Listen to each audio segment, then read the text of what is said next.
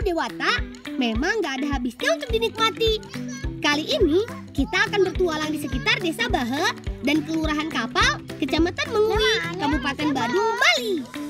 Kalau di Sunda ada tutut, di Bali ada kakul.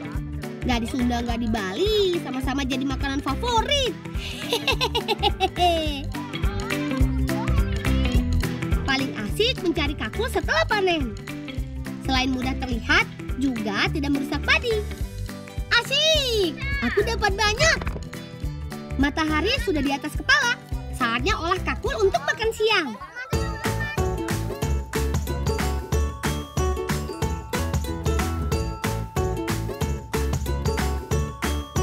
Asik, siang ini lauknya istimewa.